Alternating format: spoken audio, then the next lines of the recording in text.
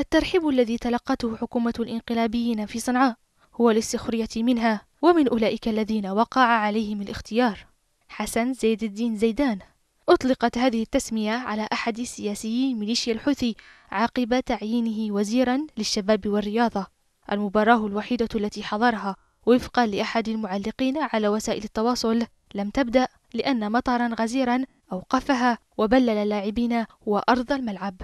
معظم الوزراء الذين عينتهم الميليشيا أصبحوا بمجرد إعلان أسمائهم مادة للسخرية والتندر.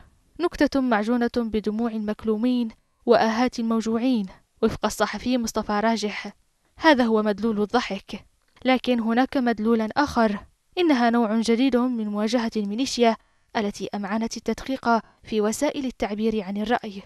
العشرات يتلقون أصناف العذاب لأنهم يكتبون آراءهم المخالفة للميليشيا. أطقم الحوثيين مطلع الأسبوع الفائت. كانت تلاحق أحد الذين اعتادوا التعبير عن آرائهم بشكل ساخر. لم يظفروا به ولم يتمكنوا من إيقاف السخرية التي تحاصرهم. إنهم يرون الألم في عيون الناس وإلى جواره يرون ضحكة صامتة تعذبهم وتلاحقهم في الشوارع والأحياء التي يعتقدون أنهم يحيطونها ببنادقهم.